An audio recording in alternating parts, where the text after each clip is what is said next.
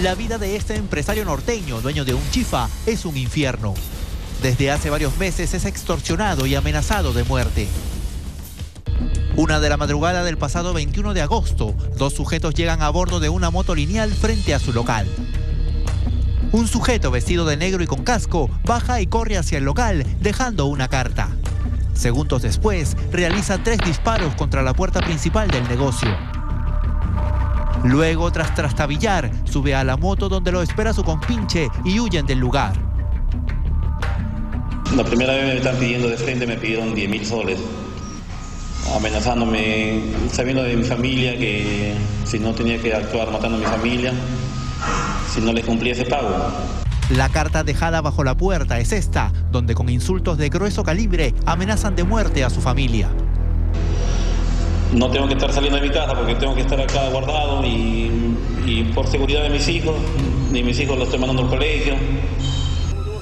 Si quiere vivir tranquilo, debe pagar.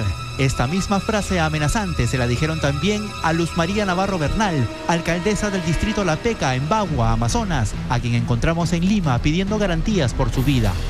Ella acusa directamente al avesado delincuente Alexander Campos Vázquez, alias Borrego, recluido en el penal Piedras Gordas, de extorsionarla con el pago de 5 mil dólares.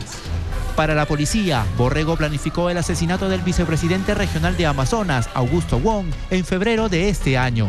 Pero también el director del INPE tiene que amarrarse los pantalones. ¿Cómo me puede explicar que este señor, desde adentro de Piedras Gordas, planea mi muerte y me estaciona cada vez que quiere? Incluso mostró algunos mensajes de texto como este.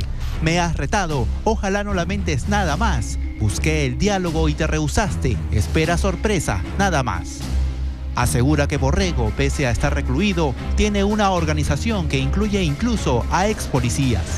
Recientemente la policía ha detectado a un ex policía a punto de colocar una granada en mi domicilio.